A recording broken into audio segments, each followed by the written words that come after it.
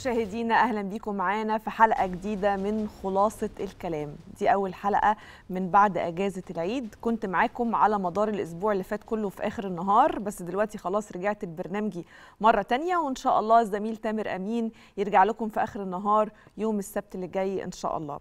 أنا بحب خلاصة الكلام لأن هو كده بيجي في نهاية الأسبوع بنلخص الأحداث كلها وبنجيب كل حاجة فأنا مبسوطة إن أنا رجعت برنامجي مرة تانية. طيب. هنبتدي بأهم الملفات اللي حصلت وأهم الأحداث اللي حصلت. طبعا زي ما حضراتكم عارفين إنه قرار الحكومة بتبكير موعد غلق المحال التجارية ضمن إجراءات حكومية لترشيد استهلاك الكهرباء حصل على موجة انتقادات واسعة جدا خاصة لتزامن القرار ده مع تطبيق الوقت أو التوقيت الصيفي. وزي ما حضراتكم عارفين إن التوقيت الصيفي ده بيقلص فترة الليل شوية. إحنا بنناشد الحكومة إحنا بنناشد الحكومة إنهم يراجعوا القرار ده مرة تانية. راجعوا قرار إن المحال التجارية والمولات تقفل الساعة 10 بالليل لأن ده ممكن يكون ليه تأثير اقتصادي سلبي. الناس يعني بيبقى فيه تعاملات تجارية إحنا عندنا هنا في القاهرة وفي مصر وفي جميع المحافظات لحد الساعة واحدة و2 بالليل. وفي عمالة عايشة على الكلام ده وشغالة في الكلام ده وفي ناس عايشة في الكافيهات بياكلوا منها عيش وفي ناس في المطاعم وفي ناس في المولات وفي ناس في المحلات. إن إحنا مصر صاحية إحنا بلد صاحية. على فكرة إحنا بقينا نقفل متاخر بدري عفوا. يعني إحنا بقينا نقفل بدري عن زمان. بقينا بجد نقفل بدري. وبعدين هي الناس لما تسيب المولات وتسيب المحلات هيروحوا فين؟ ما يروحوا البيت برضو يستخدموا الكهرباء. هي هي. هي هي. فاحنا بنناشد إن الحكومة تراجع هذا القرار. وإحنا عندنا معلومة بتقول إن القرار ده بيتراجع بيتراجع مرة تانية. لأن 10 بالليل ده بدري قوي وخاصة إن إحنا في الصيف وفي الأجازة. إحنا في الصيف وفي الأجازة. يعني إحنا هنعرف مثلا في في الأماكن الصيفية نقفل بدري؟ في ال في الناس اللي بتصيف. اعرف نقفل بدري إزاي؟ ناس بتصيف ناس بتتبسط. ودي سياحة شغالة ودي ناس نازلة بتشتري وبتاكل وعايشة. فلما نقفل بدري في تعاملات تجارية كتير هتقف في اقتصاد ممكن يتأثر في ناس برضه هتستخدم الكهرباء في أماكن تانية. فالساعة 10 ده يعني بدري قوي. فأنا أعتقد أو عندنا معلومات بتقول إن الموضوع بيتراجع مرة تانية. من المنتظر إن وزارة التنمية المحلية هتون هيبقى في منشور بضوابط بتقول بقى المواعيد وهتقول لنا كل التفاصيل وكل حاجة ولكن أنا أعتقد أو أنا حاسة أو أنا أشعر انه الموضوع ده بيتراجع وممكن القرارات دي يكون فيها كلام تاني. ده مش آخر كلام هيتقال.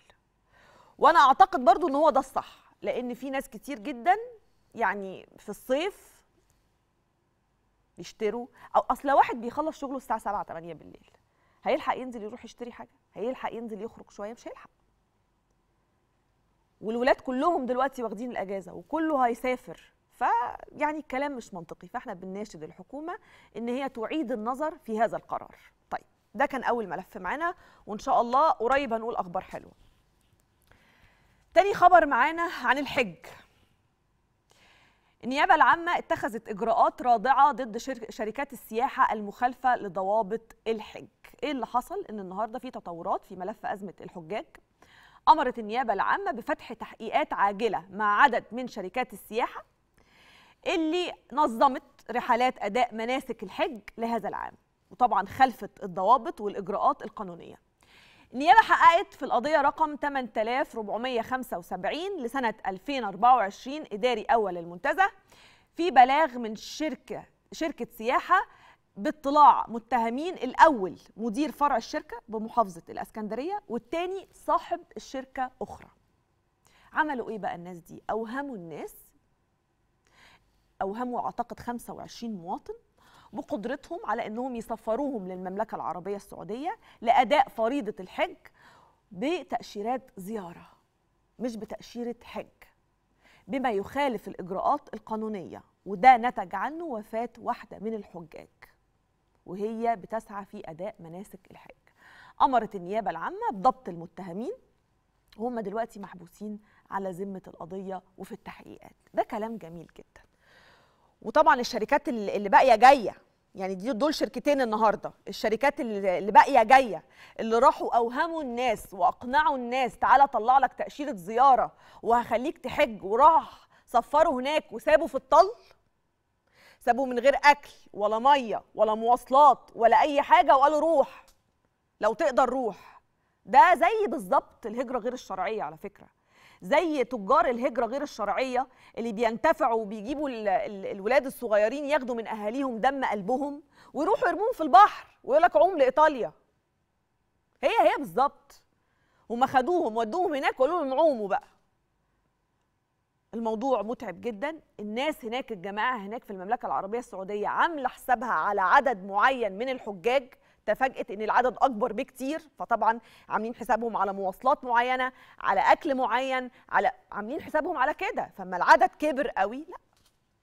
والخطأ ده ما كانش في مصر بس الخطأ ده كان في مصر وكان في أندونيسيا وكان في كذا بلد تانية وإحنا شرحنا بالتفصيل قبل كده إيه اللي حصل بالظبط مش من مصر بس لكن مصر وأندونيسيا أكتر بلدين توفى منهم ناس. طبعا الناس اللي توفت دي آه ربنا يرحم ربنا يرحمهم ويصبر أهاليهم. ولكن إحنا أنا لازم وأنا رايحة أتبع نظام البلد اللي أنا رايحاه والحج اللي يقدر عليه سواء ماديا أو صحيا. ولكن هنقول إيه برضو؟ هنرجع نقول الناس دي أمنية حياتها. نفسهم انهم يحجوا. طيب. أنا معايا دلوقتي على الهاتف أستاذ يسري البدري. طيب نحاول نكلمه مرة تانية. أنا معايا دلوقتي على الهاتف. معايا مين يا جماعة على الهاتف؟ آه معانا النائبة نورة علي رئيس لجنة السياحة والطيران بمجلس النواب.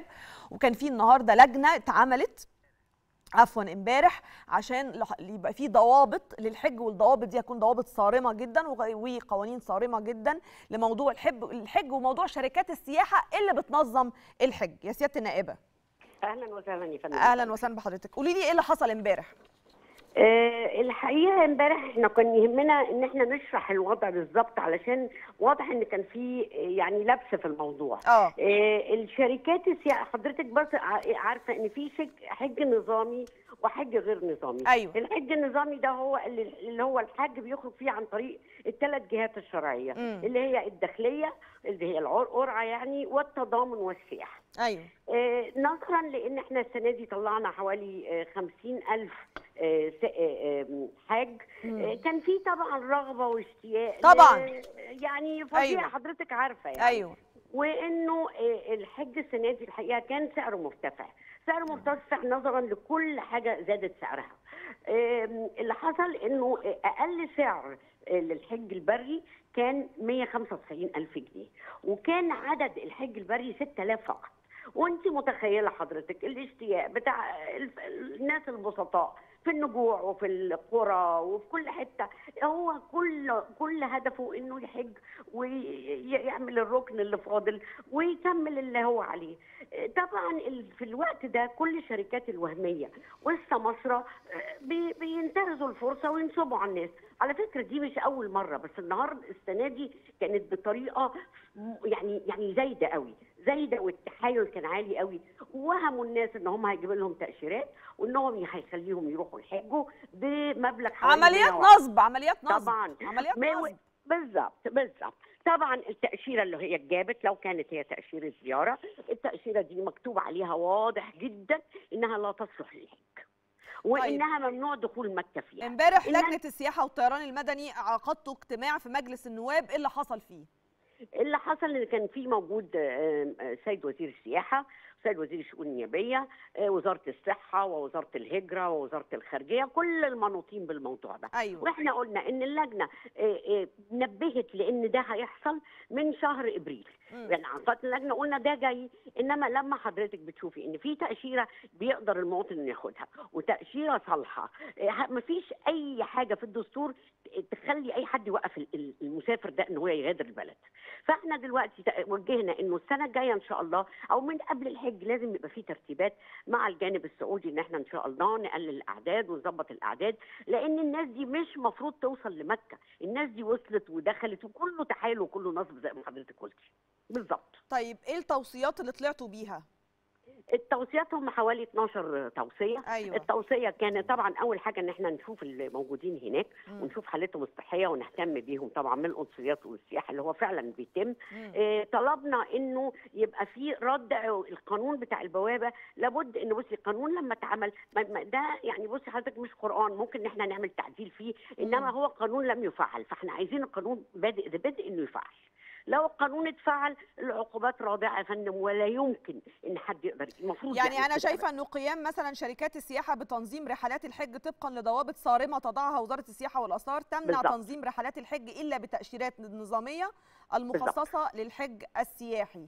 فإيه الضوابط اللي هتحطوها على شركات السياحة؟ ده بص يا فندم الضوابط دي لازم زي ما وصينا إن هي يبقى قاعد فيها القطاع الخاص اللي هو قاعد جوه اللجنه اللجنة العليا للحج مع الجهات مع الخارجية مع السياحة لازم المرة دي تطلع. وفي حاجة مهمة جدا حضرتك إحنا لازم نوعي الناس لازم نوعي المواطن البسيط. لازم مش لازم أنا أوعيه بحملة إعلانية في التلفزيون والراديو والجرايد. لا أنا لازم أوعيه حتى عن طريق الشيخ اللي في الجامع هو بتاع أنا عايزة أقول. لحضرتك حاجة يا سيادة النائبة يعني هي الفيديوهات لل... لل... لل... للحجاج الغير نظاميين اللي راحوا كانوا ماشيين المسافة الكبيرة دي على رجليهم ده مش توعية لا دي المفروض توعية كفاية بس عارفة حضرتك لو أنا اشتغل يعني كم المشي اللي مشيوه في الحر الحر وفي موجة الحر الفظيعة اللي إحنا كلنا بنعاني منها ويمشوا بال20 كيلو. بصي ال- الحادثه الحوادث بتاعت السن. السنة دي الحوادث بتاعت السنة دي المفروض إنها توعية كفاية. طبعا ده توعية كفاية جدا. وتحذير إنما برضو لازم نش من كل حتة وده برضو إحنا وصينا بيه إنه الأوقاف لازم تدخل معانا في إنها توعي عن طريق الجامع اللي هو في القرية أو في النجع برضو التوعية مهمة قوي لأنه مش هي مش توعية صحية بس الدينية أساسية برضو. آه أيوه. طيب آه، آه، في اتفضل. كمان حوكمة نظام تراخيص شركات السياحة مع مخاطبة الغرف التجارية بعدم إصدار سجلات تجارية تتضمن ممارسة الأنشطة السياحية والخدمات المرتبطة بها الا بعد موافقة وزارة السياحة والآثار. يعني أنا شايفة إنه كله على شركات السياحة إنه أنتوا آه عايزين المشكلة دلوقتي إن في شركات اسمها شركات خدمات سياحية أيوه هي مش واخدة ترخيصها من وزارة السياحة آه. واخدة ترخيصها من من جهات أخرى محليات وخلافه دول ما ينفعش وليس لها الحق في ممارسة أي شيء له علاقة بالسياحة أو بالحج أو العمرة مم. فلازم إن إحنا نتفق ونقعد برضو مع الجهات ونقول لهم مش من حقكم تطلعوا للناس دي شركات خدمات سياحية كلمة سياحية دي الحقيقة لازم تتشال من كل السجلات التجارية لأنه هو من هنا السمسار بيسرق بيها ومن يا. هنا بينصب بيها مم. مم. طيب في كمان حاجة عجبتني جدا. آه، تنظيم حملات توعية مكثفة بمختلف وسائل الإعلام للتحذير من التعامل مع السماسره والكيانات غير الشرعية. ما هو ده اللي بقوله لحضرتك. إن شاء الله حتى على مستوى ال- ال- الجامع أو الزاوية اللي موجودة في القرى. لأن لو حضرتك تشوفي أنا هقول انه الغالبيه العظمى جاية من البسطاء من المواط- من المواطن البسيط فانا لازم اشتغل على توعيته من مده قبلها طويله فندم مش قبلها بشهرين أو ثلاثة لابد ان المده تبقى كافيه ونشتغل عليها ان شاء الله من دلوقتي. طيب يعني موضوع السماسرة ده برضو أنا أمون يعني السماسرة ده اللي هم آه. آه اللي هو اللي هم مين؟ مين السماسرة دول؟ اللي هم بي إيه بيعملوا إيه يعني؟ يعني يعني من القرية يلف على البيوت آه ما على موتوسيكل حضرتك. هي كده بالظبط. بيلف يقول له حاج أنت فات طلعتش في القرعة؟ ولا يهمك. أنا أعرف أجيب لك وأنا عندي شركة في السعودية. واديني وأنا هسفرك بأقل. بدل ما تدفع 190 تديني 110 طيب ما هو التاني ما يصدق يا عيني عايز يطلع يحج وهو مش طب- فاهم بقى وهو مش فاهم مش فاهم حاجة مش خالص فاهم. خالص, خالص. مم. ولا عارف رايح فين يعني كمية الناس اللي كانت تايهة اللي شفناها تايهة في الفيديوهات هو مم. مش عارف هو فين يا فندم هو نزله من الباص وقال له انزل وسابه ومشي ده منتهى التوحش الحقيقة يعني. آه لا نصب. نصب نصب نصب. أنا بقى أنا كنت لسه. بقول دلوقتي زيها زي الهجرة غير شرعية بالظبط. بالظبط اللي بيروحوا يرموهم في البحر يقول لك عم لإيطاليا. ما هو رماه بدون أي تنسيق آه إيه؟ بالظبط بدون أي تنسيق وبدون أي حاجة وبدون إن في مرشد ماشي معاهم وبيقول لهم لأ هنمشي كده لأ. هنمشي كده في. أتوبيس بنركبه في يعني مفيش أي حاجة خالص طيب في. بند كمان في التوصيات مهم جدا بيقول وضع آليات جديدة لمنح تأشيرات الزيارات بمختلف أنواعها من خلال التنسيق مع الجانب السعودي ووزارة الخارجية المصرية بحيث بحيث يوقف إصدارها قبل موسم الحج بفترة كافية لا تقل. عن شهرين ده بالظبط اللي إحنا يعني طالبنا بيه من إبريل اللي فات اللي هو قبل الحج. قلنا إنه لازم يبقى فيه نقاش وتوافق بين الحكومة المصرية وبين السعودية في إنه الزيارات دي لازم إنها تتوقف قبل فترة الريبة. فترة الريبة اللي هي إيه؟ الفترة اللي ممكن آه، ال- الفترة اللي هو ممكن الحاج يقعد فيها ويتخلف ويكمل. يعني يدفع قبلها بشهرين. زمان كانت العمرة اسمها عمرة وحج. فكان بيطلعه يعمل عمرة ويروح قاعد له شهر. راكن بقى كده مش مهم يروح الحرم ويفطر أي حاجة ويبات في أي حتة بس المهم إنه يحج. فإحنا عايزين إنه كل ال ال ال أنواع التأشيرات دي تقف في فترة الريبة. الفترة اللي هي ممكن الحاج يضحك عليه ويقول له روح وهتحج كمان. طيب. وده تنسيق إن شاء الله تتعمل. التوصيات دي كلها جميلة جدا بس بقى آلية التنفيذ يا فندم واللي هي آه. دايما بيبقى عندنا مشكلة فيها في إن إحنا ننفذ بقى. بصي حضرتك أنا لسه قايلة لهم امبارح إنه إحنا هنفضل نتابع الملف ده كل شهر أو كل شهرين من اللجنة مش هنسيبه مش هنسيبه لأن أنا عندي مدة كافية سنة إن أنا أشتغل عليه. ما ينفعش إن أنا أطلع بتوصيات وأسيبها. هفضل وراهم لغاية ما تتنفذ إن شاء الله. إن مش شاء هينفع الله. غير كده إن شاء الله. بشكرك جدا النائبه. نور علي. رئيس لجنة السياحة والطيران بمجلس النواب. بنشكرك جدا. طيب سريعا كده سريعا سريعا هعدي على الزمالك واللي بيحصل فيه. طبعا زي ما حضراتكم عارفين أو اللي إحنا عارفينه أو اللي إحنا فاهمينه إن الزمالك انسحب من المباراة القمة مباراة الأهلي والزمالك. صح؟ مش أنتوا فاهمين كده؟ أنا فاهمة كده. حد فهم حاجة تانية غير كده؟ لكن بيقال بيقال لا ده ما انسحبش. أصل هو ما قدمش انسحاب ده قدم اعتذار. أنا اعتذرت لظروف قهرية. أنا ما انسحبتش أنا اعتذرت لظروف قهرية. طيب إحنا ما كناش فاهمين كده. إن إحنا اللي فاهمينه إن هو انسحب صح؟ لأنه ده اللي اتقال ساعتها صح؟ لا قال لك لا ده اعتذر لظروف قهرية. طيب لو هو اعتذر لظروف قهرية أو ده اللي قدمه بقى في الأوراق الرسمية أنا بتكلم ده هيترتب عليه إيه؟ هل هيترتب عليه حاجة إحنا ما كناش فاهمينها أو عارفينها؟ وإدارة الزمالك فقط هي اللي كانت واخدة بالها منها وعارفة هي ناوية تعمل إيه؟ ده اللي إحنا هنفهمه دلوقتي أكتر. معايا مين يا جماعة على الهاتف؟ معايا مين؟ الأستاذ عامر العمايره خبير اللوائح. أهلا وسهلا يا فندم. أهلا بحضرتك. ازيك؟ عاملة إيه؟ إيه اللي بيحصل بالظبط؟ إيه اللي بيحصل بالظبط؟ يعني إحنا فاهمين إن هو انسحب. الزمالك انسحب. ودلوقتي اتفاجئنا بيقول لك لا أنا ما انسحبتش. ده أنا قدمت اعتذار لظروف قهرية. هل لا هو ده انسحب. هو انسحب. وطلع قرار من الرابطه بخسارته المباراة. طبقا للمادة 50 هم. النادي اللي لا يتوجه لأداء إحدى مبارياته بيعتبر آه، منسحب. واتطبقت عليه المادة 51 اللي هو خسارة المباراة. خصم ثلاث نقاط مثل رصيد نقاطه وده هيبقى في آخر موسم يعني هو حاليا عنده 34 هيتخصم ثلاث نقط في نهاية الموسم وهو حاليا 34 ماينس 3 هيتوقع عليه عقوبة من الرابطة وهي وقعت عليه النهارده غرامة 100000 زائد اللي مسؤول عن قرار الانسحاب هيتم توقيع العقوبات عليه. والرابطة النهارده أعلنت اللي هم جاري البحث والتحقيق مين المتسبب في الانسحاب عشان الرابطة تتخذ أمامه اجراءات. طب أنا عايزة أسأل. حضرتك سؤال. هل. هل إيه اللي هو قدمه بيدل على إن هو انسحب رسميا؟ طيب. العذر القهري في اللائحة ثلاث حاجات. ها. اللي هم إيه؟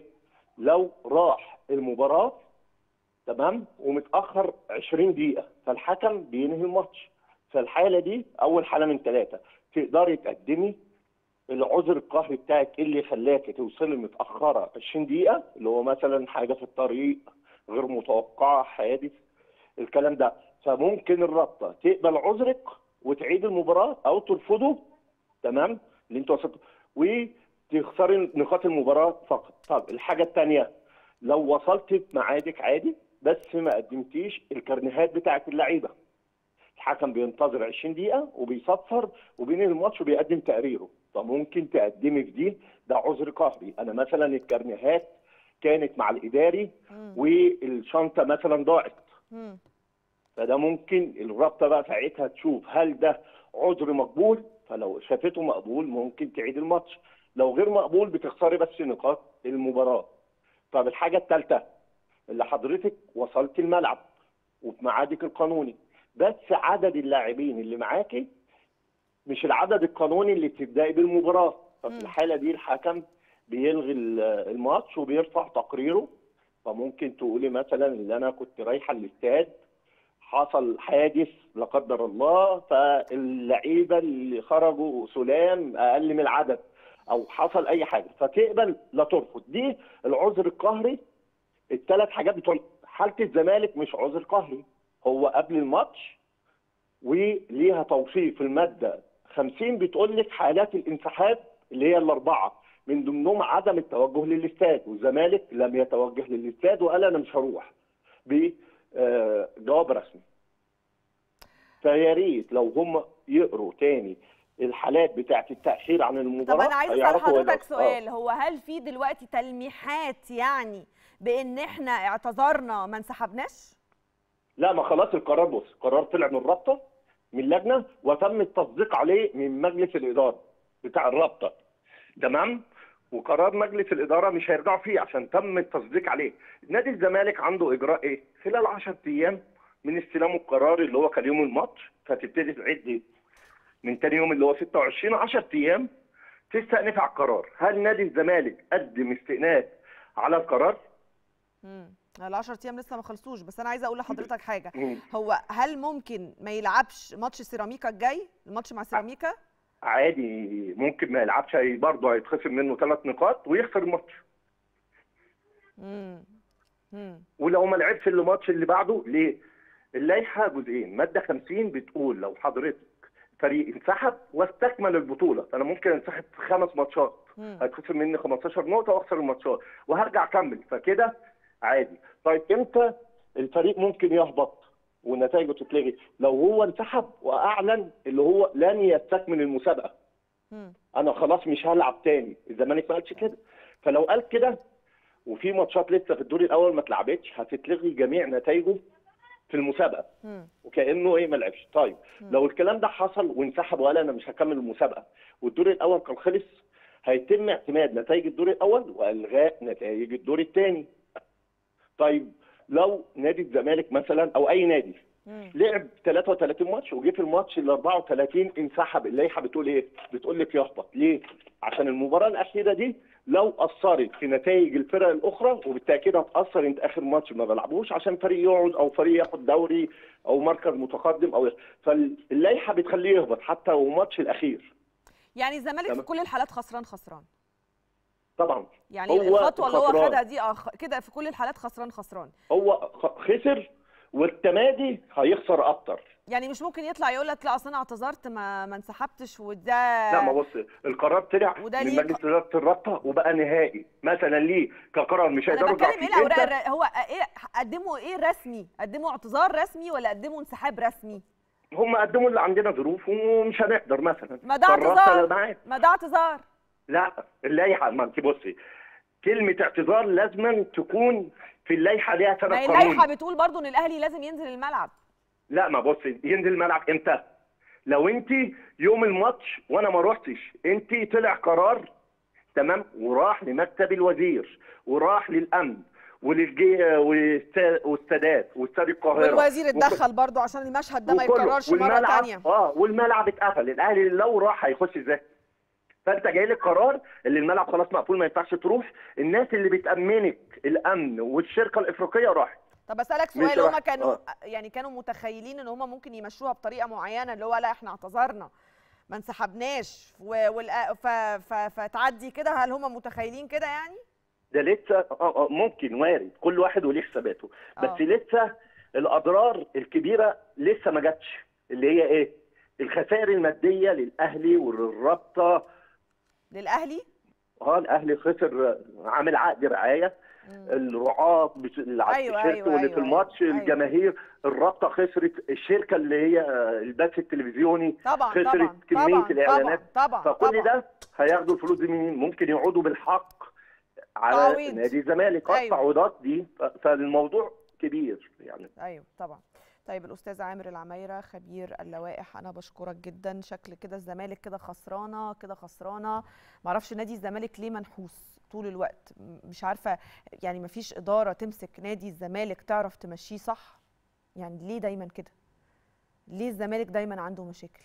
يعني آه، يعني أكيد مش العيب في الناس طول الوقت. طيب ده بخصوص نادي الزمالك. في بداية الحلقة أنا كنت اتكلمت عن الكهرباء وقلت إنه يا ريت إن الحكومة تعيد تقييم موضوع قفل المحال التجارية والمولات الساعة 10 بالليل ده لأن ده بدري جدا وممكن كده يحصل مشاكل اقتصادية والعماله اللي شغالة والناس اللي شغالة في الكافيهات والناس اللي شغالة في المولات. يعني قلنا إن ده قرار ممكن إن إحنا نعيد دراسته مرة أخرى. دلوقتي حالا على على ال social media النائب عفوا على تويتر النائب مصطفى بكري كاتب دلوقتي حالا أهو وأنا بكلم حضراتكم كاتب تويتر أو كاتب على موقع إكس بيقول إيه؟ بيقول علمت أن الحكومة المصرية تراجع موقفها من قضية إغلاق المحلات التجارية في العاشرة مساء بناء على توجيهات رئاسية. بناء على توجيهات رئاسية. الاقتراح الذي يدرس حاليا الإغلاق لفترة محدودة بالفترة النهارية مع ترك المحلات مفتوحة طيله طيلة الفترة المسائية. حلو. حلو. حلو. عارفين ليه حلو؟ حلو إن إحنا نقول رأينا ونتسمع. حلو. حلو. حلو إن إحنا نعترض على حاجة ونقول رأينا ونتسمع. ده شيء جميل. ورأينا مهم لأن إحنا اللي عايشين وإحنا اللي عارفين وإحنا اللي فاهمين إحنا بنعمل إيه. فلما نتسمع حلو. حلو لو ده بيدرس دلوقتي وأكيد النائب مصطفى بكري مش كاتب كده عبثا يعني هو كاتب كده بناء على معلومات عنده فبناء على توجيهات رئاسية إن الموضوع ده بيدرس دلوقتي إن المحلات التجارية والمولات مش هتقفل الساعة 10 بالليل لأ هيسيبوها خلال الفترة المسائية كلها عشان الناس تسترزق وتاكل عيش وده مهم جدا وحلو حلو إن صوتنا يتسمع. هنرجع نكمل معاكم باقي ملفاتنا ولكن بعد الفاصل استنونا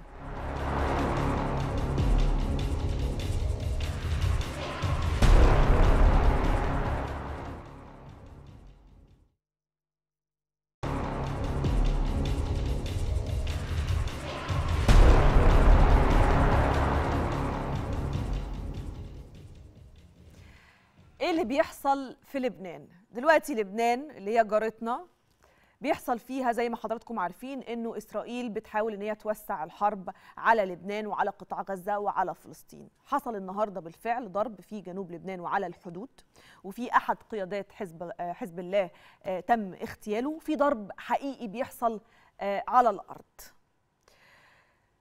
دايما كنا بنقعد نقول لا مش هيضربوا لا مش هيضربوا. فاكرين في بداية غزة في 7 أكتوبر نقول لا مش هيضربوا بيضربوا بيضربوا بيضربوا في الآخر.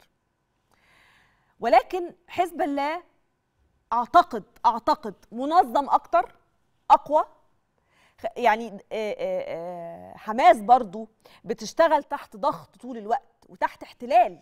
هما محتلين فبيشتغلوا تحت ضغط وتحت احتلال. حزب الله لأ. حزب الله لأ. حزب الله منظم. سواء اختلفنا معاه أو اتفقنا معاه على فكرة ولكنه منظم وعنده أسلحة وعنده صواريخ متطورة وعنده ناس مدربة وعنده أشي... عنده أدوات كتير ممكن تكون مش موجودة عند حماس. طيب أنتوا حماس بقالكم اهو داخلين اهو في 8 شهور 9 شهور آه يعني بيحاربوكوا بأسلحة بدائية جدا وما عرفتوش تقضوا عليهم لحد دلوقتي. ما حصلش. حصل؟ ما حصلش.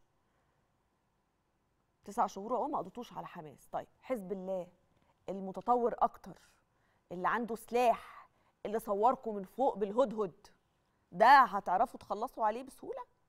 فالواحد يعني المجرمين دول سواء جالنت أو أو نتنياهو أو ال أو ال أو ال أو الناس المجرمة دي أنتوا بتفكروا إزاي؟ طب أنتوا هتوسعوا الحرب. طب وبعدين؟ أنتوا بقالكم تسع شهور ما خلصتوش على حماس وبتقولوا إن دي أهم أهداف الحرب بتاعتكم.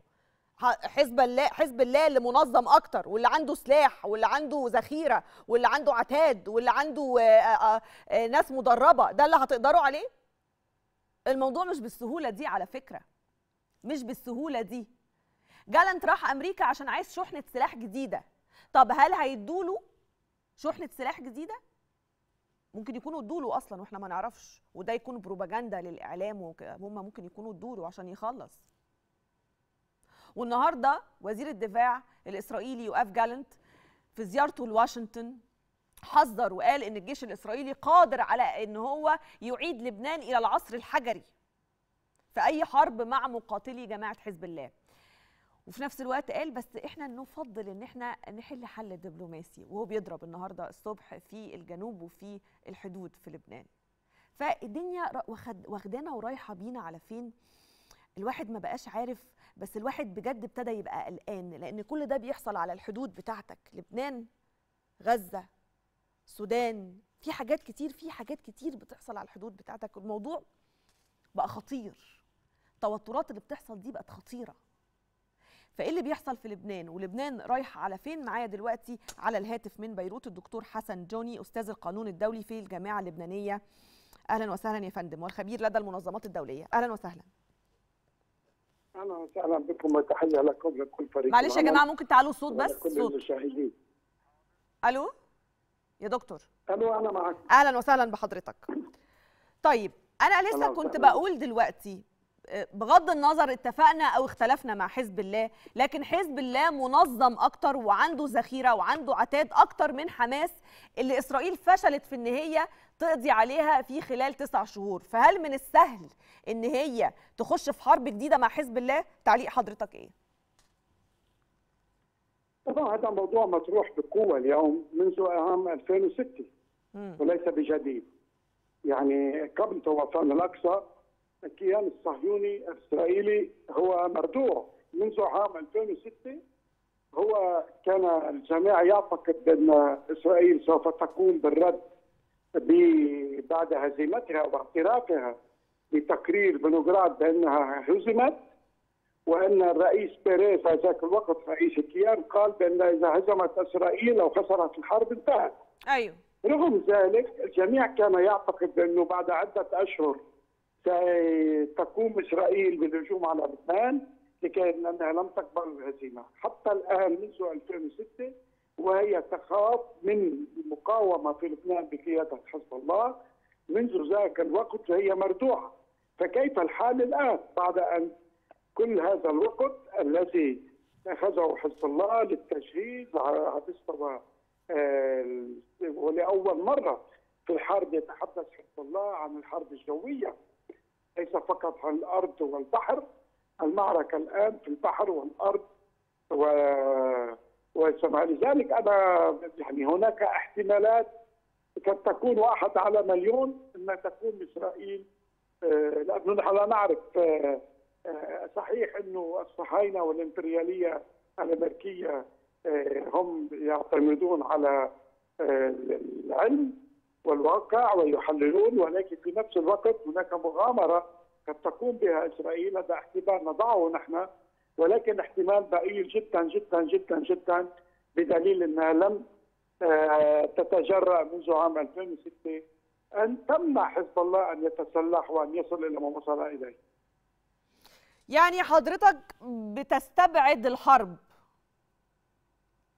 استبعدها وتركت واحد من مليون احتمال لأنه ليس لدينا معلومات ما يخطط له العدو وليس لدينا معلومات طب أسأل حضرتك. سؤال تاني أسأل حضرتك سؤال تاني الأمريكي أيوه نعم أسأل حضرتك سؤال تاني دلوقتي بعد ما حسن نصر الله طلع في فيديو وفيديو فيه تسع دقايق منه آه، مصور مناطق مهمة آه، آه، في صحيح. الكيان هل إسرائيل تقدر تعيش تحت هذا التهديد؟ أعتقد لا. يعني بعد ما هو, طلع الهدهد ومصور آه، مناطق مهمة في الكيان هل إسرائيل هتعرف تعيش تحت هذا التهديد؟ هتسكت؟ آه، أنا آه، آه، قلت انه منذ عام 2006 وهي لا تستطيع. الآن الأمور أصبحت أصعب على الكيان الصهيوني كون أن حزب الله امتلك أسلحة كبيرة جدا سواء كانت أيوة. على صعيد الجو أيوة، أيوة، أيوة، أيوة، أيوة. وضد الطائرات وهذا شيء مهم جدا جدا وأعتقد انه إسرائيل لن تتجرأ وخصوصا مم. إن أي معركة قادمة ضد لبنان ستؤدي إلى دمار إسرائيل ودمار تل أبيب وترى دمار حيفا. الفرق بيننا وبينهم اننا نحن هنا أرضنا جذورنا حياتنا بينما هم مستوطنون استوطنوا هذه الأرض ليست ارضهم وبالتالي عندما يشعرون بالخطر يخرجون. هناك اليوم أكثر من مليون صهيوني آه، قال إنه لن يعود إلى فلسطين. وهناك اليوم هجرة معاكسة حوالي هجرة عكسية طبعا. 62 ألف شخص يترك إسرائيل يوميا. صح وبالتالي صح هناك افراغ لإسرائيل فلسطين المحتلة وعودة المستوطن خوفا من أي حرب قادمة. أعتقد إن ليس هناك حرب هناك تهويل هناك تهديد هناك فقط أخذ بعض المكتسبات السياسية على الحدود ولكن لن تتجرأ إسرائيل على ضرب لبنان. وإذا وإذا تجرأت يبقى وإذا- احتمال بسيط. آه. ونعرف ماذا في في خط تخطيط الإمبريالي الأمريكي في المنطقة لأن اسرائيل هنا إذا قامت بأي مشروع سيكون في خدمة مشروع إمبريالي لاعاده رسم المنطقة باكملها طيب. قد يكون يعني نحن أمام حروب كبرى. أسأل حضرتك سؤال هل أعتقد إنه هل- احتمال ضعيف جدا. هل عندك معلومة؟ الصواريخ اللي موجودة عند حزب الله تقدر توصل لحد فين؟ عندك معلومة؟ لأي مدى؟ لا هي ليس قصة معلومات. نحن هنا لسنا لنتبادل المعلومات نتبادل التحاليل. أيوه. المعلومات هي هي عند هذه معلومات هو سريه هو هو هو هو حسن نصر الله طلع واتكلم عن الأسلحة وقال إن هو عنده أسلحة حديثة. جدا. قال عنده أسلحة حديثة جدا ممكن هم ما يعرفوش عنها حاجة. سيدتي سيدتي سيدتي نحن لسنا هنا لنعطي معلومات أنا ليست لدي أنا كل ما أعرفه بأن السيد حسن عندما هدد إسرائيل والكيان الصهيوني قال بأنه يستطيع أن يطال تل أبيب. آه. ويطال حتى ديمونا في الجنوب طبقا لتحليلك. هو صرح عن ذلك. يعني ليس بالضرورة أن نحصل على معلومة طيب من هنا طبقا ومن هناك. طبقا لتحليل حضرتك رؤيتك إنه بالفعل عنده صواريخ تقدر توصل لتل أبيب؟ سيدتي أنا إنسان أستاذ جامعي لست عسكريا ولست لا أعرف. هذا سؤال غريب. يعني لا أعرف لماذا تطرحينه. هذا سؤال استخباراتي. يعني ماذا تريدين أن تقولي الاسرائيلي يعني أنا لست أنا أستاذ جامعي وليس أنا لدي أنا أنا فاهمه أنا فاهمة. أنا فاهمة. أنا بحضرتك بتقول بنحلل. فلو هو طلع لا قال كده. سؤال لا يسأل سيدتي سؤال لا يسأل ما ده سؤال استخباراتي. اسالي مسؤولين حزب الله أنا لا أعرف. طيب إذا حدث فعلا وفي ضرب حصل أو الحرب أنا أقول لك إن السيد حسن قال إنه يستطيع أن يضرب ديمونا أنت تسأليني إذا أنا عندي معلومة يعني بدأت أشك في السؤال أنا. طيب. يعني لا أعرف أنا أستاذ جامعي أقرأ الصحافة وأتابع. لا أستطيع أن وأتابع أقرأ التقارير. لست بحزب الله أنا. طيب لو حصل حرب على لبنان أو لو حصل ضرب بالفعل إيه اللي بعد كده ممكن يحصل؟ شايف الرؤية إزاي؟ الرؤية هي دمار كبير جدا للبنان ولكن أيضا سيكون هناك دمار لاسرائيل دمار طيب. كامل وتكون نهاية إسرائيل. طيب. لذلك إسرائيل لن تجرؤ تجرؤ منذ 2006 على العدوان على لبنان. طيب. داخل بقى الكيان الصهيوني. في دلوقتي عنده مشاكل كتير جدا. عنده مشاكل اقتصادية عنده هجرة عكسية عنده مشاكل كبيرة جدا. نتنياهو نفسه عنده مشاكل جوه وفي قضايا مرفوعة عليه وقضايا فساد وحاجات كتير جدا. إزاي قادر الكيان إن هو يكمل حرب بال... بال... بال... حرب كبيرة بهذا الشكل ويوسع الحرب بهذا الشكل وهو عنده في الجبهة الداخلية مشاكل كتير جدا؟ إزاي قادر يعمل كده؟ صحيح هناك عنده مشكلة في الجبهة الداخلية هذا معروف. ولكن مساله الاقتصاد هي ليست قضية كبيرة جدا لأنه آه، ممكن حلها عن طريق المساعدات الأوروبية والأمريكية بمئات المليارات الدولارات وتنتهي المشكلة يعني. أنا لا أعول كثيرا على الأزمة الاقتصادية لتغيير العدوان الصهيوني على شعبنا. آه، ولا أعول كثيرا على القضايا الشخصية نتنياهو وغير نتنياهو، هناك استراتيجية أمريكية إمبريالية صهيونية لاعاده رسم المنطقة بأكملها وليس فقط آه، في لبنان.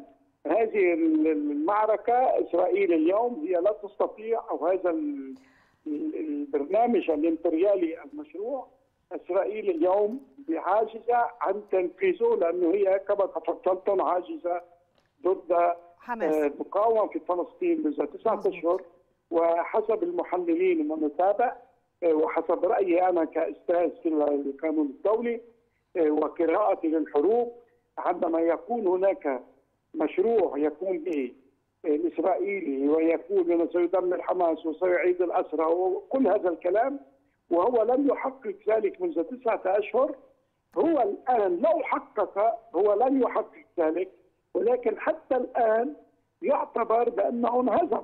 هو انهزم انهزم طبعا لأن هو الأهداف ما حققهاش. هو ما حققش أي هدف. من أهداف الحرب اللي هو أعلنها لم يحقق أي هدف بعدين تسعة اشهر وليس تسعة أيام.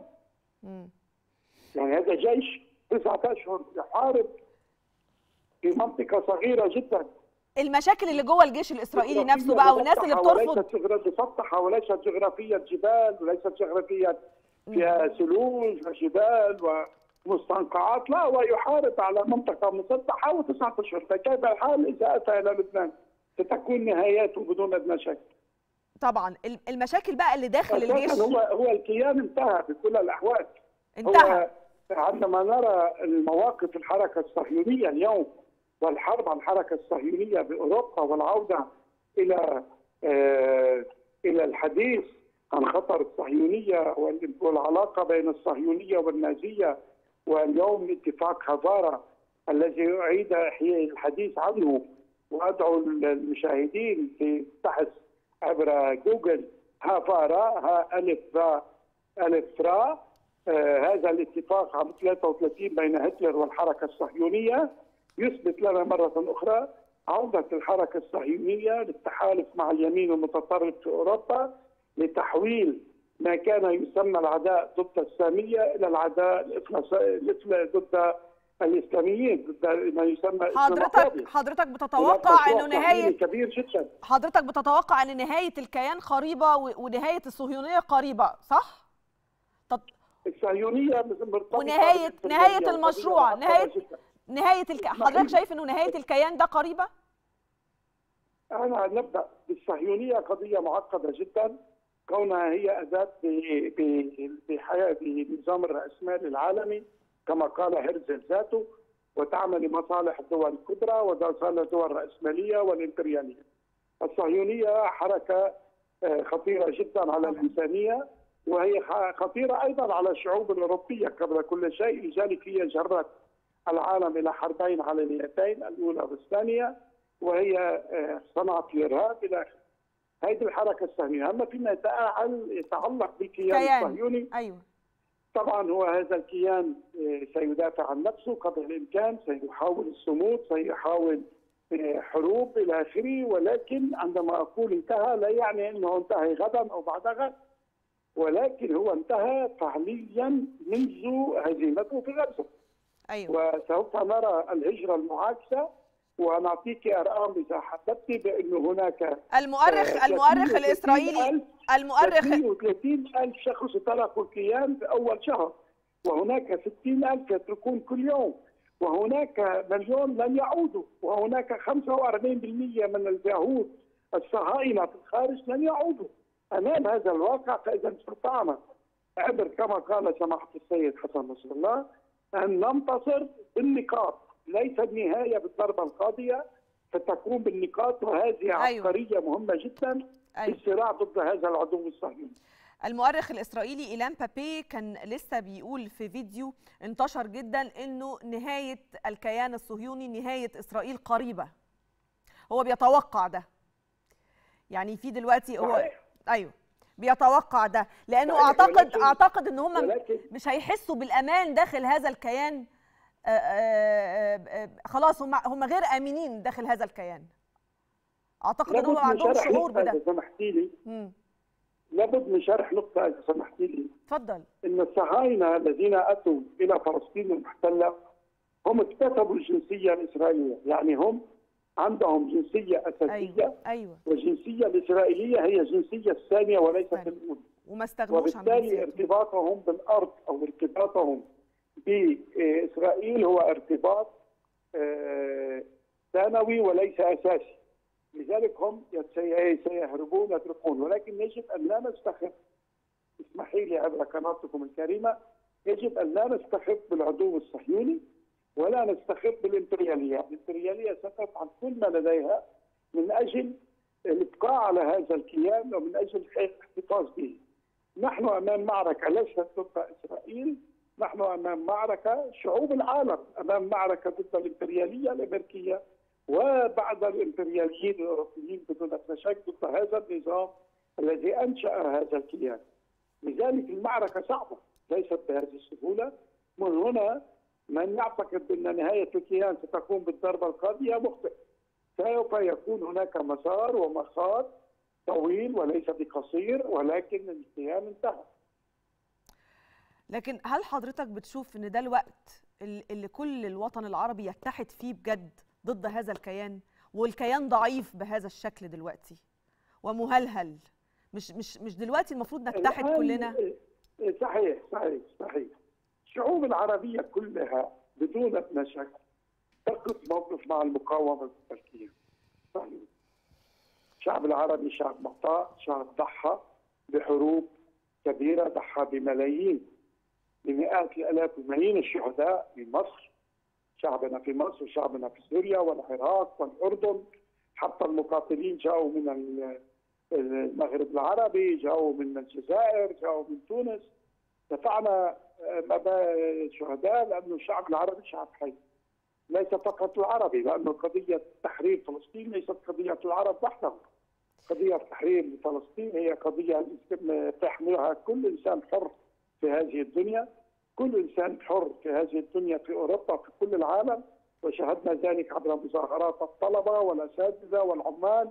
وشاهدناها في أوروبا في كل العالم حتى في الولايات المتحده الامريكيه وفي كندا وبريطانيا. أيوه. هذا التغيير الذي حصل اليوم إنه آه هذا بده وقت آه بده وقت بدون ادنى شك هناك بعض الأنظمة العربية للأسف طبقت مع الكيان الصهيوني. هذا أعتقد أنا هذه الأنظمة أما أن تتراجع عندما تنقلب ميزان القوى لصالح أيوة. قوى التحرر أما هي ذاهبة آه، ولن تستطيع أن تستمر لأنه ميزان القوى اليوم هو لمصلحة حركات التحرر في العالم والقوى التقدمية في العالم والهزيمة ليس فقط لإسرائيل إنما الآن حتى الولايات المتحدة الأمريكية الإمبريالية على رأس الإمبريالية يجب أن لا نستهين بها ويجب أن ندرسها علميا.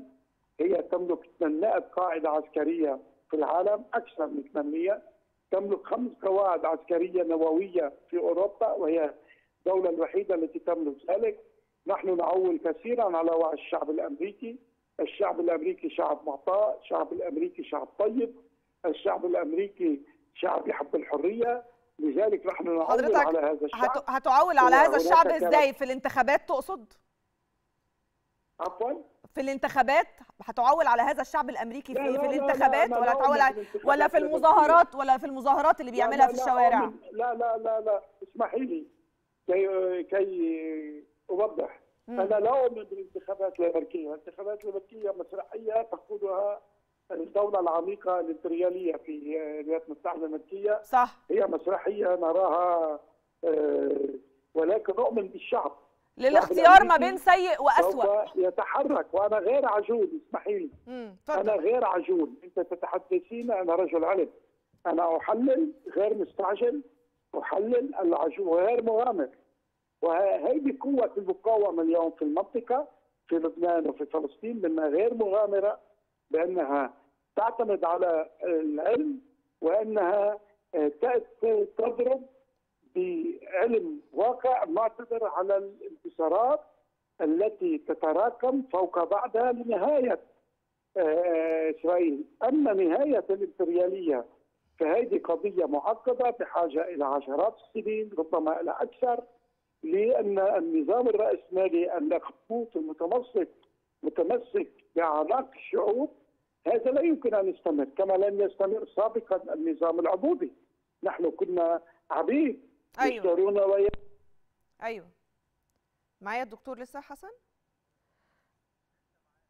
الطاعي أو الأكمام اتفضل. انتهى بعد الافات السنين لذلك الرأسمالية التي عمرها حوالي 500 سنة آه، والإمبريالية منذ أكثر من 100 سنة يعني النضال ضدها صعب وهي بحاجة إلى تخطيط والى علم والى فكر وأنا آه، يعني لا أعتقد كما يعتقد البعض أنه غدا ستنتهي أمريكا وتنتهي كذا هذا كلام ليس لديه أي معطى علمي. العلم يقول بأن المعركة كبيرة نضال الشعوب مستمر في القارة الأمريكية في في أفريقيا حضرتك قلت من شوية بتعول على الشعب. الأمريكي لأن كل هو شعب طيب بتعول على الامبرياليه لأن الإمبريالية أكبر خطر على الإنسان. أيوه. طيب دكتور حسن جوني أنا أنا سعيدة جدا بتحليل حضرتك وأتمنى إن إحنا يكون في بينا لقاء كامل نفهم الناس الكلام المهم اللي حضرتك بتقوله ده. أنا بشكرك يجب جدا. أن نعقل ونأخذ الأمور بالعلم والعاطفة حلوة ومهمة وشعوبنا حاضرة ولكن الذين يريدون النضال ضد الإمبريالية والصهيونية يعملون كما يفعل السيد حسن نصر الله بعلم وبهدوء وب- وبعقل وبحكمة بعدم التهور وعدم المغامره مغامرة. يعرف متى يضرب وأين يضرب وكيف يضرب. هذا شيء مهم جدا في النضال ضد الإمبريالية. أنا بشكرك جدا الدكتور حسن جوني أستاذ القانون الدولي في الجامعة اللبنانية والخبير لدى المنظمات الدولية. على فكرة الكلام اللي قاله كلام فعلا مهم جدا. الكتير بيشوف دلوقتي إنه الكيان الصهيوني الكيان اللي وسطينا الجسم الغريب وسطينا دي نهايته قربت لأنه ابتدى يضعف وابتدى يضعف جامد. الناس اللي جوه الكيان خلاص ما بقوش حاسين بالأمان. ممكن يتضربوا في أي لحظة ممكن يتضربوا في أي وقت. الناس دي يا جماعة مش قاعدين في أرضهم. الناس دي معاهم باسبور تاني يسافروا بكرة الصبح. لكن أهل غزة وأهل فلسطين ما عندهمش باسبور تاني. ما عندهمش غير هو بس باسبور فلسطيني. ما عندهمش غير الأرض اللي هم قاعدين عليها. لكن الناس التانية اللي في الكيان عندهم باسبور تاني جايين بيه. فما عندوش استعداد يموت. يموت ليه؟ ما أنا سافر بلدي اللي أنا جاي منها. أنا أموت ليه وقت العيالي ليه؟ عدد في ال- في في- جيش هذا الكيان وأنا ببقى آسفة وأنا بقول جيش بس يعني في في الجيش هذا الكيان عدد المجندين اللي دلوقتي بيخرجوا مش عايزين وبيهربوا من التجنيد وبيهربوا من الجيش الإسرائيلي ومن جيش هذا الكيان كبير جدا. هو مش عايز يموت يموت ليه؟ هو ما عندوش قضية بيدافع عنها ما عندوش. هتيجي تقولي اليمين المتطرف اللي هناك هفهمك شوية. هو عنده شوية حاجات متربي عليها من هو صغير عقد ومتربيين بشكل معين كده فهفهمك. لكن الناس العادية اللي هناك ما عن- ما عندوش سبب يموت عشانه. بصوا الناس كم المظاهرات اللي في الشوارع في إسرائيل شكلها عامل إزاي؟ والتكسير اللي بيحصل والمظاهرات الفظيعة لو حضراتكم بتتابعوا المشاهد. عشان كم حد مخطوف بقاله بقاله فترة. عشان الاسرى عشان ولادهم. بصوا أهل فلسطين بيموت منهم كل يوم قد إيه؟ وصابرين وبيقاوموا. بصوا الفرق. عشان ده قاعد في أرضه وده قاعد مش في أرضه ممكن يمشي بكرة الصبح. ف توقعات كتير بتقول إنه هذا الكيان خلاص قرب ينتهي. الواحد مش عارف الكلام ده ينفع يقوله ولا ما ينفعش يقوله بس. لما الكيان يكون ضعيف بهذا الشكل وهش بهذا الشكل مش المفروض إن إحنا كلنا كوطن عربي يعني هو ده الوقت. هو الكيان دلوقتي فعلا ضعيف. داخليا وخارجيا ضعيف. مش ده الوقت اللي إحنا نتحد فيه كلنا؟ معرفش بعد الفاصل هنرجع لكم.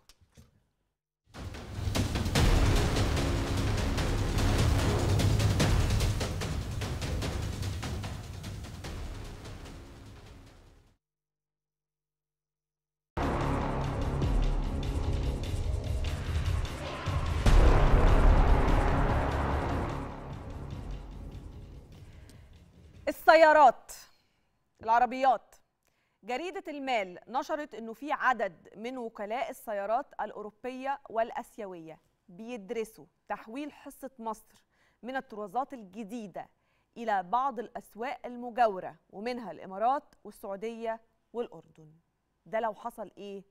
لو استمر تعطل إجراءات التسجيل المسبق للشحنات للشحنات الواردة على النافذة الجمركية و- وخاصة يعني ال- ال- والحاجة اللي أنا مش فاهماها قوي وهفهمها مع حضراتكم دلوقتي ال ACID ال ACID number. وعدم استطاعتهم تنفيذ عمليات الاستيراد من موان الموانئ الخارجية. شكل كده إنه في مشكلة في السيارات وفي العربيات وفي الموديلات الجديدة اللي بتنزل. الموديلات الجديدة لازم تنزل. لو ما نزلتش أعتقد بيحصل مشاكل. وإن العربيات ما تجيلناش إحنا و الوكلاء يفكروا إن هم ياخدوها للسعودية أو الإمارات أو الأردن هنفهم عواقب ده كويس جدا. معايا دلوقتي على الهاتف المستشار أسامة أبو المجد رئيس رابطة تجار السيارات ونائب رئيس شعبة السيارات باتحاد الغرف التجارية. سيادة المستشار أهلا وسهلا بحضرتك. مساء الخير يا فندم على حضرتك وعلى جمهورك الكريم. إيه اللي بيحصل بالظبط؟ اللي بيحصل إيه؟ من شهر ونص تقريبا آه، بدون سابق انذار توقف التسجيل على النافذة، توقف آه. التسجيل على النافذة يعني النهارده محدش يقدر يستورد عربيات، لا استيراد تجاري ولا استيراد شخصي ولا حتى استيراد سيارات معاقين. طبعا قطاع السيارات قطاع السيارات ده قطاع ضخم جدا بتعتمد عليه موارد الدولة آه، إحنا دولة فيها 110 مليون سلعة السيارة دي سلعة استراتيجية ما هياش سلعة تكميلية أو سلعة ترفيهية ما ينفعش التعامل مع هذا القطاع بهذه العشوائية. ليه؟ لأن إحنا أنا من شهر ونص طلعت وقلت أنا بدق ناقوس الخطر عشان ما حدش في يوم من الأيام بعد أسبوع أسبوعين ثلاثة شهر يقول والله ده النهارده جشع التجار والتجار بتزود الأسعار السعر ده بيزيد زيه زي أي منتج في الدنيا لما المنتج ده بيشح أو بيندر بس خليني أقول لحضرتك حاجة إن ساعات ال over price يعني بيبقى والسعر ساعات بيبقى زايد زيادة حبتين. ولكن أنا عايزة أسألك سؤال مهم دلوقتي. ولو نفترض إن مثلا الموديل السنة الجاية ما نزلش ده ممكن يحصل ده ممكن يبقى ينتج عنه إيه؟ بص يا فندم موديل السنة الجاية أو حتى موديلات 24 بمجرد ما توقفيها لمدة شهر أيوه. ده بيخلي بيحصل مجموعة من الأمور. آه. رقم واحد كل التوكيلات في مصر وإحنا عندنا 54 علامة تجارية. أيوه. ماضيين عقود مع الشركات الأم. مم. لما تيجي النهارده عربياتهم والعربيات ديت عشان تيجي بيتحول مئات الملايين من الجنيهات لأن العربيات دي بتستورد بفلوس. أيوه. كل كل رؤوس كل رؤوس الأموال ديت اللي جزء منها التوكيلات دي بتبقى واخدة قروض وجزء من من من الفلوس دي بتبقى أموالها. بتتوقف. دي خسارة ضخمة. ها. الشركات الأم بتيجي الشهر اللي بعد منه وتيجي تدي التوكيلات في مصر الحصص الوكلاء في مصر بي بي بيعترضوا بيقولوا لا ده إحنا لسه ما خرجناش العربيات اللي بعتوها الشهر اللي فات. مم. فطبعا التوكيلات دي من الطبيعي إنها مش هتبعت في مصر وهتتحول لدول تانية. مم. ماشي؟ والعربيات ما خرجتش. ده يعمل إيه؟ يعمل النهارده اللي موجود ال- ال- ال- اللي موجود خلاص اتباع. ما فيش عربيات جديدة. يبقى يحصل الآتي. واحد المستهلك ما فيش عربية فالسعر هيزيد. اثنين التاجر ما فيش عربية فمش هيبيع عربية. ثلاثة الوكيل ما فيش عربية فبالتالي مصروفاته ما بيأديش إيراداته لأن already ما فيش عربيات فبالتالي ما بيبيعش. أربعة موارد الدولة اتاثرت جدا جدا لأن النهارده العربيات دي تساوي. جمارك بتدفع لوزارة المالية. ضرائب بتدفع. تأمينات رسم جدول رسم تنمية قيمة مضافة آه، مرور. كل الدايره دي بتتوقف تماما. ما ينفعش نتعامل في قطاع السيارات بهذه العشوائية كان يجب الآتي واحد مم. أنت النهارده لما أنا رجعت السيد رئيس مصلحة الجمارك وقلت له حضرتك موقفين خروج السيارات ليه؟ قال لي إحنا بن- بنعدل المنظومة بي- بيعدل المنظومة بمعنى إيه النافذة في تعديلات على النافذة. قلت له ماشي okay. حضرتك النهارده بلد بحجم مصر لما يكون في تعديلات على النافذة وعندنا 54 وكالة وعندنا آلاف من الموزعين والتجار بين يوم وليلة أصحى أحلم أقول أنا أنا وقفت الاستيراد واعدل النافذة ولا أقول يا جماعة بعد شهر إحنا هنعدل النافذة؟ اللي جايب عربيات من بره اللي دافع ملايين الملايين اللي واخد قروض وجايب عربيات الاستيراد الشخصي اللي حضرتك ممكن يكون كل الفلوس اللي أنت حطيتيها في العربيات دي كل ما تملكيه يطلعوا ويوفقوا أوضاعهم ويخرجوا العربيات ديت. وبعد شهر بتاريخ واحد سبعة إحنا هنوقف النافذة ومش هنوقف النافذة كده عشوائي. لازم نقول إن إحنا هنوقف النافذة لمدة إيه؟ لمدة شهر لمدة أسبوع لمدة يوم. ده الطريقة اللي المفروض يتم التعامل فيها مع قطاع ضخم. زي مثلا على سبيل المثال النهارده كل مصر زعلانة من انقطاع الكهرباء لكن أنا عارف إن الكهرباء هتتقطع ساعتين.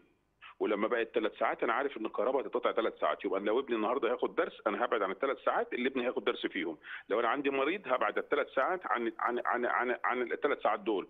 تبقى الموضوع واضح. ومحدد لكن النهارده بكره الصبح أنا بحلم أنا بس أنا عايزة أقول لحضرتك بس في موضوع قطاع الكهرباء بلاش نقارنه بموضوع السيارات عشان الناس ما تتضايقش لا ده ملوش دعوة يعني أنا بدي على سبيل لا معلش المثال والناس إن كان يجب ساعات إن كان يجب. إن كان يجب بص يا أستاذ أميرة. إن كان يجب كان يجب إن التنبيه يا جماعة إحنا هنقفل الاستيراد الشخصي والتجاري وكل حاجة بعد في التاريخ الفلاني وقفل الاستيراد ده هيتم خلال فترة فلانية أنا لما رجعت مصلحة الجمارك يا جماعة طب أنتوا قافلين النافذة لمدة قد إيه؟ ما نعرفش. ما نعرفش. مفيش وقت محدد. لمدة قد إيه؟ ما نعرفش. طب هو الناس بره هيسكتوا علينا؟ آه. الناس بره هيسكتوا علينا. طب أسأل حضرتك سؤال إيه اللي في إيدك تعمله؟ العربيات اللي واقفة دي. إحنا إيدك تعمل إيه؟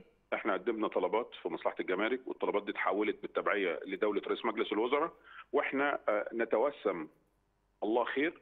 ونتوسم إن الطلبات اللي قدمناها تدرس ونتوسم إن إن شاء الله يتفتح يتفتح. خدي بالك أنا كل ده ما تطرقتش لنقطة في منتهى الخطورة هقول لك عليها دلوقتي. اللي هي إيه؟ هقول هقولها لك حالا دلوقتي. اتفضل. آه، بتمنى إن إن شاء الله يتفتح. وأخطر من ده بقى إيه؟ آه. النهارده لما حضرتك إحنا بقى لنا سنوات لما تيجي حضرتك النهارده بتستوردي عربية حضرتك النهارده قررت إنك تستوردي عربية بشخصك أيوه. رحت النهارده حولتي فلوسها وانت بتسجلي على النافذه سجلتي تسجلي في بند سيارات ما سجلش فسجلتي في بند مثلا أمتعة شخصية. مم.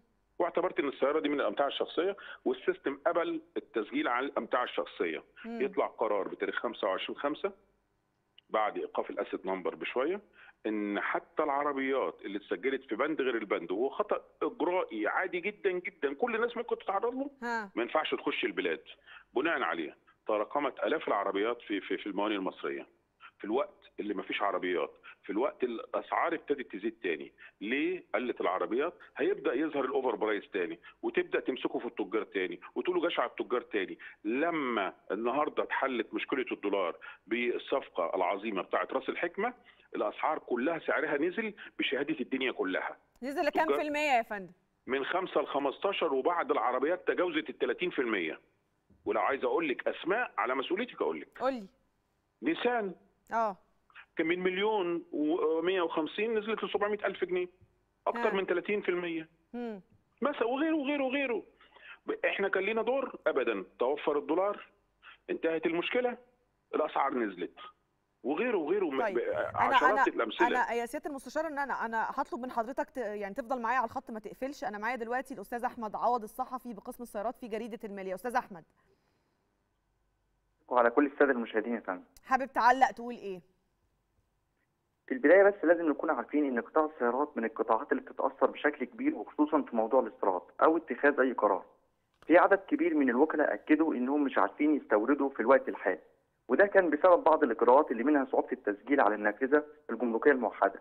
معظم الوكلاء والمستوردين كانوا متعاقدين على كميات كبيرة من السيارات من فترة. ومع صعوبة التسجيل على النافذة ما عرفوش يكملوا إجراءات الشحن ولا الاستيراد. في بعض الشركات ليها كميات وشحنات في الموانئ وتحديدا الأوروبية. لدرجة إن الشركات العالمية بعتت للوكلاء في مصر إن في رسوم أرضيات وبيتم رسومها بسبب احتجاز الشحنات بتاعتهم في الموانئ وبالتالي بقى ده بيمثل عبء كبير على الشركات هنا في مصر بعض الوكلاء بدا يشوف حلول للموضوع واللي كان منهم تحويل الحصص والكميات الموجودة في الموانئ بره لبعض الأسواق وخصوصا إن مفيش رؤية واضحة أو ميعاد محدد لحل موضوع التسجيل على النافذة وبعض الشركات قررت إن هي تدرس موضوع تحويل الحصص اللي متعاقدة عليها لاسواق أخرى. واللي أيوة. بتتشابه في المواصفات العربيات زي يعني الأردن والإمارات والسعودية. بتؤيد بتؤيد كلام المستشار أسامة أبو المجد. بتؤيد آه الكلام طبعاً. بتاعه. أو مع طبعا طبعا. في جديد وده هيكون ليه؟ تأثير كبير يا فندم على حاجة لازم نكون واثقين منها. مهم. إن دلوقتي إن التجار بدأوا يرفعوا الأسعار وخصوصا كمان إن المعروض بدأ يقل في السوق. إحنا كنا بنشوف في خصومات بتوصل خصومات عن. السعر. الرسمي ل 200000 جنيه. أيوه. دلوقتي الخصومات قلت. طيب. قلت طيب. بشكل كبير. طيب أستاذ أحمد عوض الصحفي في قسم السيارات في جريدة المال أنا بشكرك جدا. يا سيادة المستشار حضرتك لسه معايا؟ آه يا فندم مع حضرتك. أنا بس كنت عايزة أشوف لو في أي معلومة أنا جديدة. أنا برجو آه، ما اتفضل. حدش يقول ما حدش يقول الأسعار زادت وجشع التجار والتجار زودت. التجار مش من مصلحتها إنها تزود الأسعار. النهارده لو أنا معايا مليون جنيه بيجيب خمس عربيات غير معايا مليون جنيه بيجيب عربية واحدة. يا فندم مش من صالح التاجر إن الأسعار تزيد. والله ما من صالحه. من فضلكم شوفوا أسباب الزيادة إيه إحنا بنقول لكم قبل ما إيه تحصل أسباب. الزيادة يا فندم؟ إيه أسباب الزيادة؟ بص يا فندم من 300 سنة أكبر عالم اقتصاد أدم سميث قال إذا قل المعروض إذا قل المعروض زاد السعر. حضرتك النهارده ما فيش ما فيش عربيات بتخش؟ زي ما قال الأستاذ أحمد كده ما فيش عربيات بتخش السعر هيزيد أوتوماتيك. في عربيات السعر هي... هي... هيبقى عادل أو السعر طب أنا عايز. أسأل حضرتك سؤال لو العربيات اتوفرت وكله تمام هل ممكن الأسعار تنزل مفيش يعني نقاش. أيوه أنا مش بك... أنا آه. يعني أنا بتكلم على إن إحنا العملية. إن إحنا أنا فاهمة إن إحنا كنا متعودين على أسعار العربيات كنا في رينج معين. دلوقتي سعر العربية يعني مليون جنيه يجيبوا لك عربية اللي هو إيه يعني متوسطة يعني اللي هو يعني مش ده أنا أحلى لسه حاجة. مديكي مثال لسه مديكي ماشي مثال في نيسان أنا فاهمة إنها نزلت ل 700 1150 و1200 بمجرد ما ما, ما, ما, الصفقة حصلت ودولارات دخلت البلد نزلت يا فندم ل 700 ألف جنيه. عايزة مثال شفافية ومصداقيه أكتر من كده ممكن إن تنزل أكتر كمان يعني ممكن تنزل يا فندم أكتر والله تنزل أكتر بس من فضلكم زيلوا المعوقات هي مش التجار ما الشماعه حضرتك اللي كله ح- على- يعني قول المناشدة بتاعت حضرتك دلوقتي إحنا مع حضرتك. أنا يا فندم عايز الاتي بعد بعد إذنكم مفيش قرار أو قانون بيطبق بأثر رجعي. طيب. 25 5 صبحتم حلمتم إن مفيش تعديل على النافذة الكلام ده غلط. كل العربيات اللي تم شحنها كل الاسد النمبر اللي تم قبل كده كل اللي كنتوا بتسمحوا بدخول السيارات على بند غير السيارات من فضلكم فورا تسمحوا بدخوله عشان السيارات المقدسه في الموانئ دي تخش عشان التوكيلات ما تخربش بيتها عشان التجار ما تخربش بيتها. عايز بعد كده تطبق أي حاجة قول إن النهارده أنا من تاريخ كذا أنا مش هدخل عربيات لفترة كذا. بعيدا عن المنظومة أو النافذة ولا خد- قرار بس القرار يبقى واضح للجميع عشان إحنا النهارده بنشيل شيلة مش بتاعتنا. أيوه أيوه. وال- وال- والمستهلك أول واحد بينضر والتاجر بينضر ورا منه. المستهلك النهارده لما كانت العربيه بمليون و200 ولسه حضرتك بتدي مثال كان صعب جدا تركبيها. لما نزلت 700 ك- ممكن تركبيها. لو رجعت تاني ل 200 و300 زي ما كانت حضرتك وغيرك وغيرك هيقدروا يركبوها. النهارده مش من مصلحة حد إن الأسعار تزيد. تتوفر السلعة السعر هينزل أوتوماتيك. طب ممكن أسأل. حضرتك سؤال؟ اتفضلي ممكن أسأل. حضرتك سؤال؟ اتفضلي. المشكلة اتحلت يعني إن شاء الله تتحل بعد مناشده حضرتك دي وأنا متأكدة إن المسؤولين هيسمعوا صوت حضرتك وهيشوفوا وهيحلوا على طول إن شاء الله. إن شاء الله انت البرنامج بتاعك متذاع ومتشاف وأنا متأكد إن صوتنا يوصل عن طريق إن شاء الله بإذن الله. أنا أسأل حضرتك سؤال بقى. أنا كمواطن عادي أنا أعرف إزاي سعر العربية الحقيقي؟ لأن الأسعار اللي بنسمعها بره يعني بنتضايق لما بنلاقي السعر عندنا في مصر أعلى بكتير. أنا. آه قولي. الحتة السؤال اللي انت سألتيه ده سؤال ذكي جدا. وركزي معايا كويس والمشاهد يركز معايا كويس. مركزة لما معاك. تيجي تقارني لما تيجي تقارني لما. تيجي تقارني في مصر بالذات قارني ما بين معادلة تكون تكون إيه يعني عارف اللي بيقول لك apple to apple مش apple to banana. حضرتك النهارده ما تروحيش تقارني لي عربيات في الخليج 3000 سي سي و4000 سي سي وعربيات سي سي عالي جدا في مصر. ليه؟ لأن العربيات دي في مصر لما بتخش عايز أقول لحضرتك ان بتوصل الجمارك بتاعتها ورسم الجدول ورسم التنمية الجمارك بتاعتها بتعدي ال 278% برسم الجدول ورسم التنمية حضرتك لما تقارني قارني السيسيهات المنخفضة اللي, اللي, مصر بتبقى موقعة على الاتفاقات الدوليه فيها اللي مصر بتبقى داخلة زيرو جمارك هتلاقي إن السعر يكاد يكون واحد. أو الفوارق بسيطة جدا جدا اللي هي عبارة عن إيه؟ اللي هي عبارة عن ال 20 21% اللي هي 14% قيمة مضافة و3% رسم جدول و1% رسم تنمية. هتلاقي إن الأسعار قريبة جدا. لو زودتي ال 21% دول على سعر العربية اللي موجودة في الخليج أو في أي دولة ثانية هتلاقي يكاد يكون تقريبا حاجة واحدة. لكن فعلا ما تق... طبعا لكن ما تقارنيش حضرتك النهارده عربيات سي سي عالي لأن النهارده بس- هتقارني سي سي عالي هتزودي أوتوماتيك الجمرك اللي بأرقام حضرتك لا تتخيليها. طب أسأل حضرتك سؤال تاني. هل. بيبقى فيه تسهيلات للناس اللي هي مثلا ممكن تاخد قرض أو كده وما يكونش فيه فوائد عالية للي عايز يشتري عربية؟ ناس الشباب اللي في بداية حياتهم بنات اللي في بداية حياتهم عايزين المواطن عربية. العادي يعني تقصدي؟ آه هو شاب دلوقتي في بداية حياته وعايز يجيب عربية. يقدر إن هو ياخد قرض إزاي وما يبقاش فيه فوائد عالية؟ يعني الفوائد تبقى كأنها مش موجودة. هل ده موجود. عندنا؟ هي موجود في حالة واحدة بس. ها. وكويس إنك أنت برضو سؤال مهم جدا وذكي جدا ولكن هو مش هينطبق على الجميع. ماشي. في مبادرة عظيمة جدا جدا فخامة الرئيس كان هو بنفسه اللي, اللي تولى آه، يعني آه، آه، إطلاقها وهي مبادرة 2021 اسمها جو جرين. مم. Go Green دي بتسمح بإحلال السيارات اللي شفتها عنده أيوه عربية مم. قديمة مم. اللي عنده بنعيد اهو للناس اللي مم. عنده عربية قديمة مم. عدى عليها 20 سنة يقدر ياخد عربية zero وعليها غاز طبيعي وهيشتروا منه العربية القديمة بأعلى سعر والعربية الجديدة هياخدها بفايدة 3% على 10 سنين ودي حاجة غير موجودة نهائيا في البنوك المصرية في البنوك المصرية ولن تتكرر مرة أخرى حلو ده جدا حلو ده جدا أقول لك على حاجة آه. والعربية الجديدة كمان من غير ضريبة القيمة المضافة ومن غير رسم جدول ومن غير رسم التنمية. حلو ده. طب ويروحوا جو جرين ده إزاي بقى؟ فندم في في في منصة وفي في في موجود الكلام ده في موجود الكلام دوت في في في في تطبيق ويقدر يسجل بس أهم حاجة يكون عنده آه، عربية قديمة ويكون عدى عليها 20 سنة وتكون ملكه. إن شاء الله خير يبقى في جا... في حلقة هتجمعني مع حضرتك قريبا يا أتشرف سياده يا المستشار. إن شاء الله. وأتمنى إن صوت حضرتك. يوصل و... و... ونفرح قريب إن المشكلة دي تتحل يا رب عن طريق حضرتك إن شاء الله. تحياتي يا بشكرك جدا المستشار أسامة أبو المجد رئيس رابطة تجار السيارات ونائب رئيس شعبة السيارات باتحاد الغرف التجارية. بشكرك جدا وإن شاء الله المشكلة دي تتحل قريبا. آخر ملف معايا النهارده. بكرة الجمعة إن شاء الله في مناظرة مهمة جدا هتحصل في أمريكا ما بين بايدن وترامب. بايدن بيعبر عن الحزب الديمقراطي وترامب بيعبر عن الحزب الجمهوري.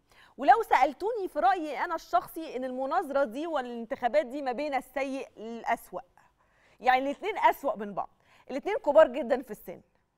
الاثنين بيحاولوا يرضوا اللوبي الصهيوني بأي شكل من الأشكال وأنا أعتقد وأراهن إن في المناظرة دي هتلاقي الاثنين بينافسوا بعض. إحنا هنرضي, اللوبي الصهيوني إزاي؟ هنرضي إسرائيل إزاي؟ يعني وه- وهتشوف مع حضراتكم. بايدن حقيقي بجد مش هزار الراجل بينام وهو قاعد. أنا أموت وأعرف المناظرة دي هتكون لمدة ساعة ونص وساعة ونص. بصوا بقى القوانين الصارمة في هذه المناظرة. آه، معاه بس قصاده ورقة وقلم ولا معاه إزازة إزازة مية عفوا ولا معاه بقى حد بيقول له هتقول إيه ولا حد بتقول له هتعيد إيه وفي قوانين والمايك هيبقى مقفول لما يكون نظيره بيتكلم و... و... يعني الموضوع هيكون قوي جدا. المناظرة دي أعتقد جزء كبير من العالم هيتفرج عليها هيتفرج على ترامب وبايدن. ترامب اللي بيطلع في كل مكان ما بيلاقيش فرصة بيستغلها وبيمسك بايدن بي بيتريق عليه في كل شيء. بس بايدن عجوز جدا في السن أعتقد 82 سنة دلوقتي. 82 82 سنة دلوقتي. الراجل مش عارف يمشي مش عارف يطلع سلم الطيارة.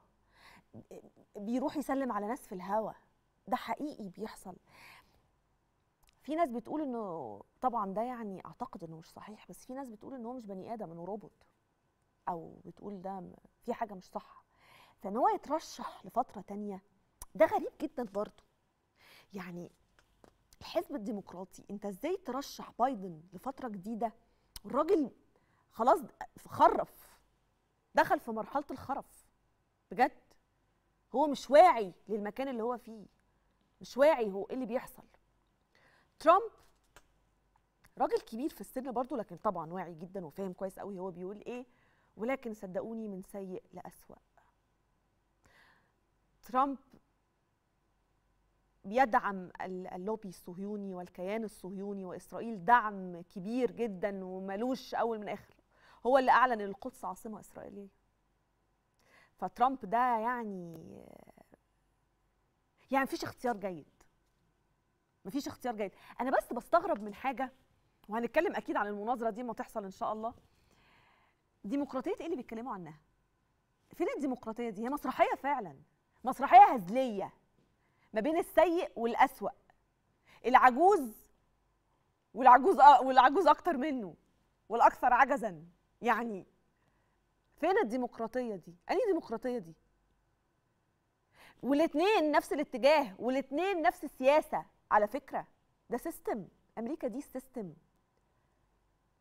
اللي هيجي يتحط على الكرسي هيمشي على نفس ال system اللي هم ماشيين عليه مش فارق مين قاعد. فهو من سيء لأسوأ ولكننا هنتفرج على مسرحية ديمقراطية المفروض يعني. وهي هتبقى كوميدية طبعا لأنه ترامب يميل إلى بي- بيميل إن هو شخص كوميدي هيفضل طبعا يتريق وي ويحاول إن هو يقلل من خصمه على قد ما يقدر وخصمه بايدن خصم هش وضعيف وعجوز و- وخرف وبينسى وحاجات كتير جدا. كل اللي بيحصل ده يهمنا إحنا في إيه كشرق أوسط؟ المنطقة بتاعتنا. كل واحد فيهم هيتعامل إزاي في قضية قطاع غزة؟ وأعتقد طبعا القضية دي هتطرح في المناظرة. كل واحد فيهم هيتعامل إزاي في في لبنان في في, في الشرق الأوسط كله. ولكن أنا أعتقد إنه مفيش فرق يعني الاثنين زي بعض. هل ممكن في يوم من الأيام نشوف فيه حزب ثالث غير الحزب الجمهوري والحزب الد- الديمقراطي بيقدم مرشح قوي يخش في الانتخابات؟ أصل أنتوا أنتوا ما فيش خيارات عند ال- الأمريكان على فكرة. فين الخيارات اللي عندهم؟ يختاروا مين؟ يختاروا اللي كان رئيس عندهم قبل كده؟ ولا يختاروا اللي موجود اللي قاعد اللي هو أساسا خلاص على مشارف الموت العجوز. يختاروا مين؟ مفيش غير اللي هم الاثنين دول. فهي دي الديمقراطية اللي هم بيتكلموا عليها مش عارفة. هنشوف المناظرة مع حضراتكم وتابعوها. وأكيد هنرجع نعلق عليها إن شاء الله.